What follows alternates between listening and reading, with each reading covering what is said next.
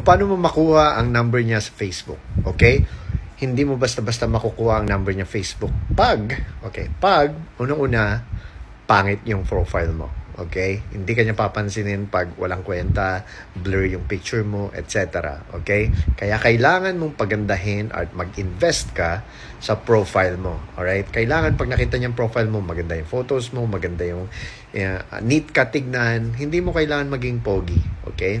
Kailangan mo lang maging neat tignan, malinis, tama yung grammar mo sa kung ano man yung sinasabi mo, yung mga post mo, positive dapat at hindi puro kadramahan at kajologsan.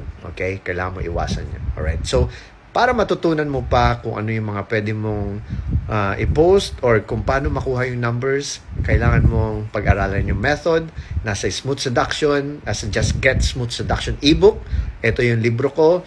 Nasa sale pa rin, 999 for only for only 999 two books na yun. Okay, so good luck and see you in the inside.